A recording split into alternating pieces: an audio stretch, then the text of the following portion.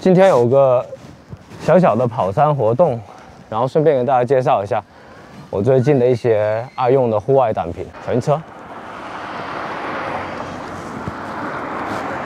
当然活动萨洛门了，然后身上衣服都是攀山，手表是宋拓的九 pick，等我再跟大家详细介绍。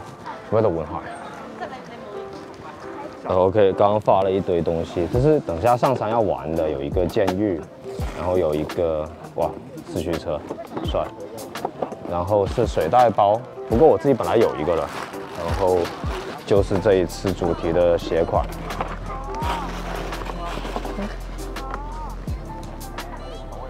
还挺帅的。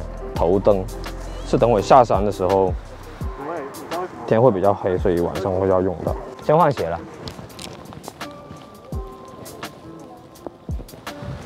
拍一下你的。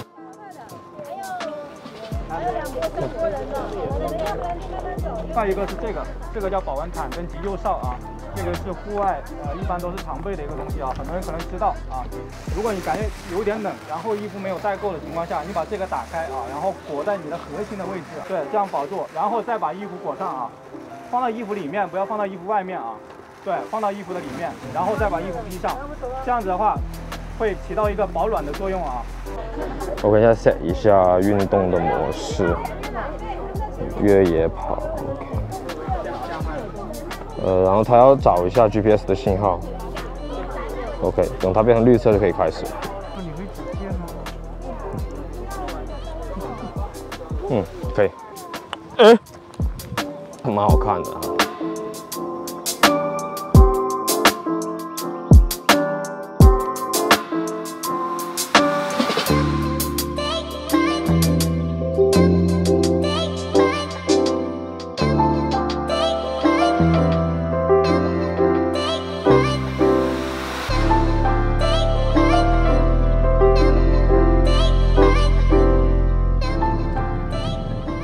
我们全部路线走完之后，可以回看，在手机这个 app 上回看它走过的线路，我觉得挺好的。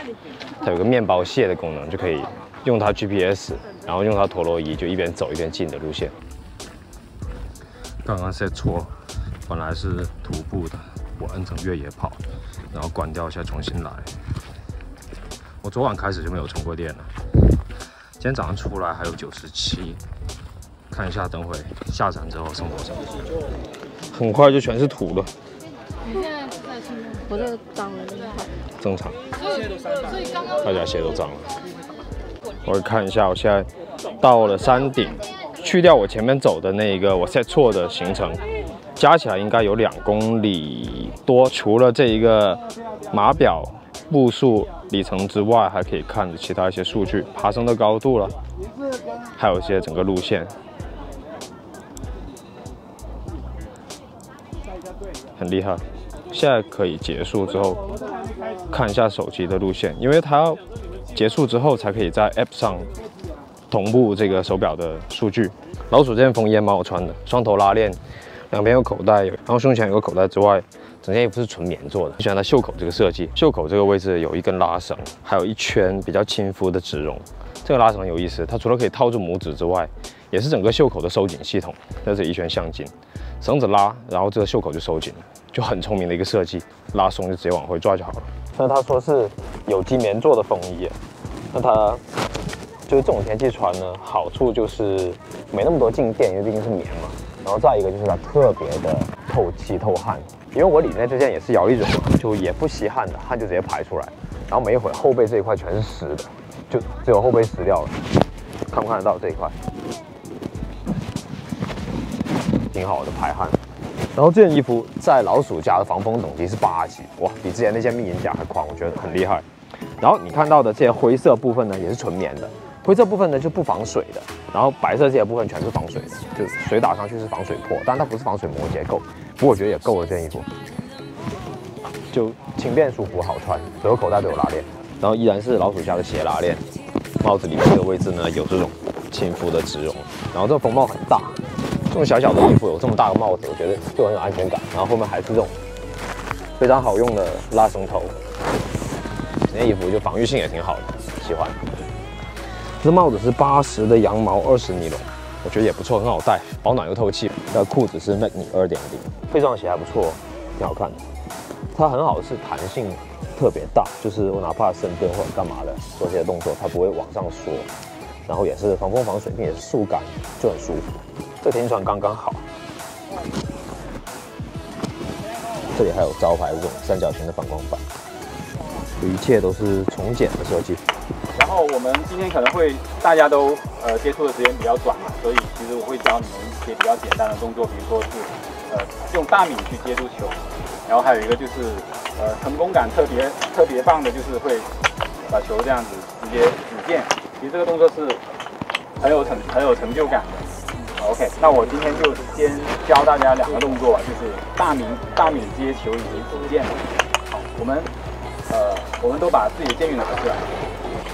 持剑式的握法，然后线孔是朝着地面的，这个出线孔朝着地面，然后我们把球扶稳。我们这个大米接球的动作是把球提起来，然后用这个大米接住，然后你在提起来的时候稍微蹲一下，对，然后大米是稍微的往右这样，轻轻的转一下，把球接住，这个就是大米接球。准备，一、二、三。好，我们有一个小窍门呢，就是这样子。我们会不是作弊，就是我们要保证，呃，在新手的学习的时候，要保证这个球孔它是比较平稳的。我们会有一个小窍门，就是把球转一下，然后把线扶稳，然后再来做这个动作。你会发现简单一点，是因为它它会球动一直球动会一直朝地朝地面。有有五个人成功，可以可以可以。OK，我已经从户外回来了。那么刚刚其实说是越野跑了，基本上就是一个登山徒步的活动了。啊，山也当然不是很高，只不过。我也没想到会有那么多人选择在周末去郊野登山，而不是去逛商场。我感觉比逛商场人还多。但 anyway，正如标题所说，这一期呢是简单分享几样户外用品啊。那首先还在看一下最近我使用频率比较高的这一个单品，就是我手上这块来自宋拓的手表。刚刚在户外大家也可以看到它。有非常多的户外记录的功能，除了是一个普通的手表之外，那它还可以记录运动状况、一些计时的数据、运动所处环境下的一些方位的记录啊、高度啊、温湿度等等的一些啊环境的变化，我觉得都是非常详细的。功能挺多的，那么喜欢户外运动朋友应该对松拓这牌子都有所耳闻吧？它是在一九三六年创立的一个芬兰品牌，在户外这种定向领域呢，其实也有了非常多年的经验了。那么我手上这块松拓九 P，它是采用了钛合金材质，我觉得它颜值还是在线 OK 的，就比起他们家传统的一些户外表来讲，显得斯文一点，就没有那么夸张的造型。非常简洁，非常干净。按钮不是钛合金的，它是一个表圈，表壳是钛合金。严谨点来讲，那除了说设计上比较简洁大气之外，整体重量确实轻了不少。而且钛合金这种材质呢，它除了非常轻质、非常耐用之外呢，就是有非常好的低敏性啊。一些身体比较敏感的朋友呢，也不会对这个材质有太多过敏的反应。当然，它所有的户外功能是没有减少的。我也才拿到没有太久的时间，目前使用最多的一个功能，就除了我偶尔去户外走走啊，会记录一下这个运动数据之外，日常最多的可能就是看一下睡眠，然后日常的卡路里消耗、运动数据等等，然后一些血氧、心跳这些，就是一些比较基础的健康数据吧。块表初上手给我的感受呢，很好的一点就是它充电速度非常快，并且它续航超久。就我拿到手，它不是满电的，但是它那个小充电器我放上去贴了没一会，就可以肉眼看得到它的电量是在蹭蹭蹭往上涨。我就看它到底续航有多久。睡前有九十九的电量，然后睡醒一觉起来的话有九十七，就是我早上跑步出门那天的电量。然后跑完下到山底下，我一看还有八十六。这期间就一直开着这个运动数据的记录没有关。看一下现在什么数据啊？心率九十五，血氧九十五，OK，一万一千步，消耗的卡路里呢？一千七百卡，哇，晚上大吃一顿才行。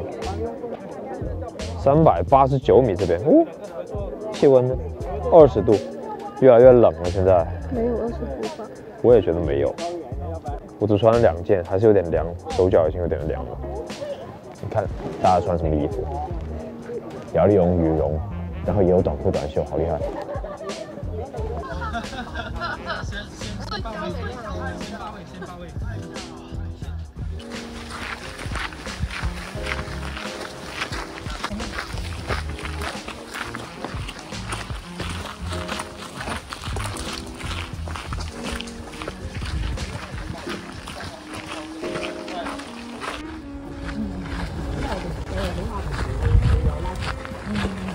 现在走了，马上应该就到山脚了。下了也蛮久的，二十七分，下山花了半个小时。它官方宣称说，在 GPS 状态下有一百六十八个小时，我觉得应该差不太多吧。当然，这个还要因你的运动强度和环境实际的不同的这种很多方面的因素来衡量啊。只是一个参考，不过它确实是续航很持久，好多天才要充一次，比起 Apple Watch 来讲要省心一点。目前暂时还没有太多机会把它性能全部榨干啊，以后看有没有更多出去玩的机会，可以再用它深度体验一下。然后另外的就是说，它这个手机的。App 配对功能我觉得很不错，只要连关联到这个手表本身呢，就可以同步很多运动数据，包括你手机自身的那个健康数据也可以同步进去。然后很多第三方软件，比如说像微信这种步数也可以同步进去。还有很好的就是它可以导入一些其他户外软件的这种路线图，比如说我今天要去一个没去过的地方徒步，那里已经有人。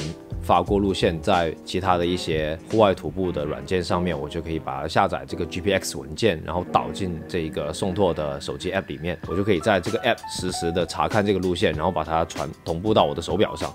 这样子，我实际去到第一次去到的环境呢，也可以很熟悉这个路线该怎么走，并且应该也没那么容易迷路吧。不过这个认路的本领因人而异啊。来简单看一下这个礼盒，它是长这个样子的。比起普通款来讲，确实包装上会显得稍微隆重一点。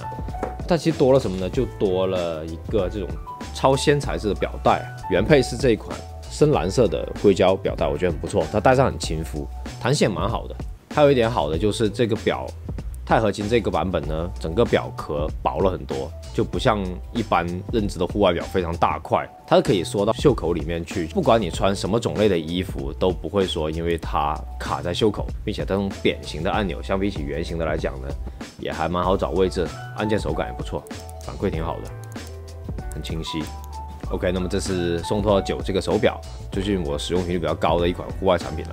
那么接下来就是几款来自老鼠家的衣服。如果你还没有看我之前关于攀山鼠这个品牌的分享呢，你可以往前翻翻看，是我最近一段时间比较着迷的一个品牌啊。By the way，这里说一句，不要看我在室内穿羽绒觉得很奇怪，对于广东人来讲，冬天在室内穿羽绒是非常正常的一件事情。OK，那就直接先从这件羽绒说起好了。这款羽绒呢，非常少见的做成了一个类似 hoodie 的款式啊，当然它确实官方名字也就叫做 hoodie 了，它的名字全称。应该叫做 Loki 二点零 Down Hoodie，它开口不是到底，而是开一半，有点像 Anorak 这种款式的设计，而且它有个袋鼠兜，又像 hoodie 一样。不过拿到手穿呢，我觉得 OK，就把它当做一件 hoodie 穿好了，确实不错。还是先从外观材质说起好了，它整体的外观是那种便携羽绒服，可以折成很小包的羽绒服，表面它非常非常柔软，拿到手我都惊了，我以为是那种很户外、很肥大的羽绒服，其实它只是看起来蓬，实际上它还挺轻薄的。它看起来蓬的原因是因为它用了八百加的蓬松度白鹅绒。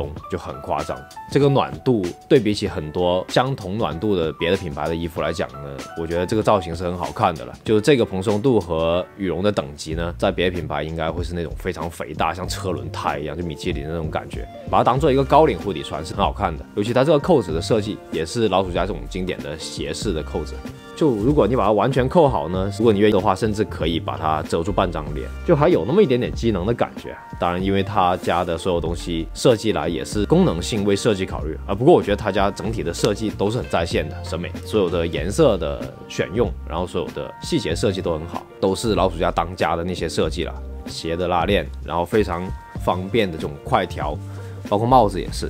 它只有一根绳子就可以控制帽子上下和左右的这一个伸缩。我觉得特意要夸一下的就是它这个袋鼠兜的设计。一般羽绒服上做口袋，可能就是伸到内侧去。我的意思就是说，口袋一个内衬，然后就到你的身体了，不会说单独为了口袋再包一层绒吧。就比较复杂，也比较费事，对不对？但这个衣服，它为了这袋鼠兜，你可以看到我的上身画面全都是肚子鼓鼓的，好像看起来胖胖的感觉。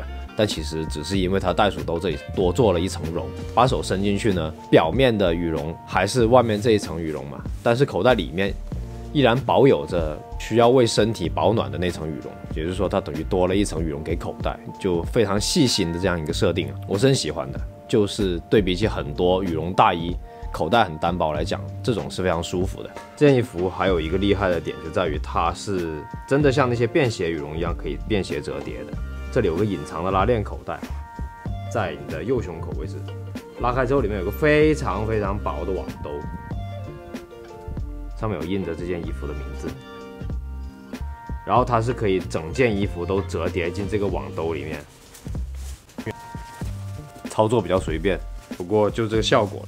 当然，它这个网兜除了可以把衣服折叠成一个非常小的收纳之外，平时穿着的时候，它也可以当做是一个暗袋，大概就这样子了，还真挺小的。如果出门旅行的话，这件衣服虽然说它是整件面料跟里子是一样的这种柔软程度，不过它在上半身你可以看得到上下颜色有区分的这个位置呢，还做了补强，包括整个帽子也是。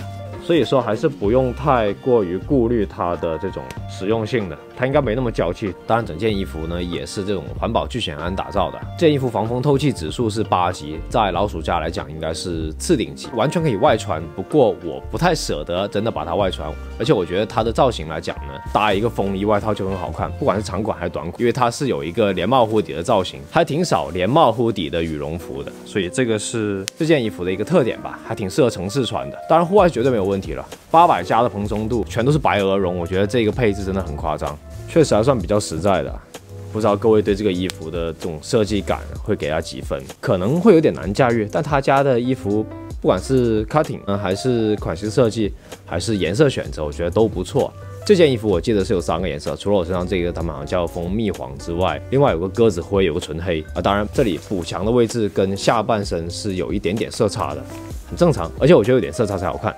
毕竟材质不一样嘛。那么这是这一件 Loki 二点零，然后另外还有几件登山的时候穿的那一身啊啊，首先就头上这个帽子，老鼠的 logo 小小的，我觉得很好看，小小的就够了。然后它整个是八十羊毛，二十的纤维，我觉得这样就很不错。纯羊毛的帽子，一个是会有点扎皮肤之外，另一个一个就是容易缩水，不好打理。羊毛混纺的材质，我觉得可以避免纯羊毛的变形缩水。有意思的是，他们家这种帽子呢，还有一个是有帽檐的版本，就是毛线的帽檐，我觉得挺好玩的。不过我还是比较喜欢正常的冷帽，有檐我觉得怪怪的。然后就是这一件小的风衣，它是一个完全是百分百再生棉的材质。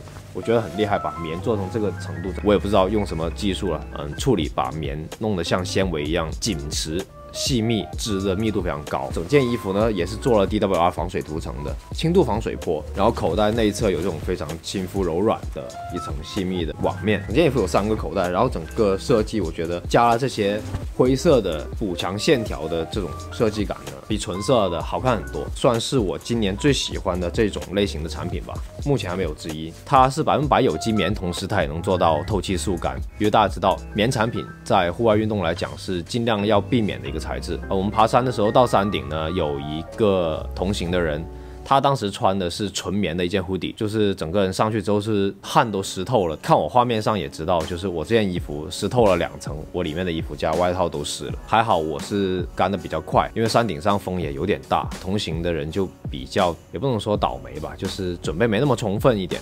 它纯棉的护底又厚不透气，然后吸满了汗，湿湿的粘在身上，然后它就有点快失温的感觉，赶紧就拿那个锡纸一样的那个保温毯给它裹到衣服里去了，然后就把它先赶紧送下山。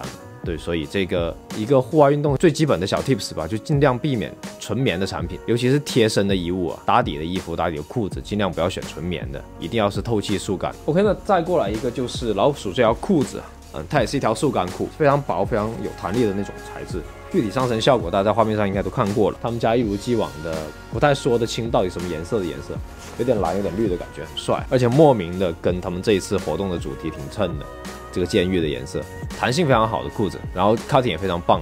走路的时候不会互相摩擦。我这一整身这两件，当时在山上走的时候的没有什么衣服之间摩擦的声音。他们家的单品我都还挺满意的。目前手上这一些啊，我就顺带提一下，呃，跑山那天，也就是为了宣传这一个接下来圣诞就要发的这个新配色 X 六，货号在这里，应该叫做霞这个配色，双鞋长这个样子。我不知道你会给它这个配色打几分。好像很多人都还蛮喜欢的，我觉得也算是一个比较日常好搭的配色吧。然后这个是同配色的监狱搭配在一起，建议是来自 Friday 的。那么整体就是这一次的一个简单的小活动和一些最近的户外爱用品分享了，没有分享太多，因为我不想成为一个太硬核的户外 UP 主啊。我只是一个偶尔把户外运动当成休闲娱乐的人，当然我也是一个小白。如果我有讲了什么不完整、不完善的地方呢？那还请各位多多指教啊！我们可以在评论区或者弹幕详细来探讨一下。各位有什么问题呢？也可以尽情的提问。这次就先讲这么多吧。如果你觉得还不错，对你有帮助的话呢，希望你给我一键三连。如果你还没有关注我，记得点开订阅了。那我是罗比，下再见吧。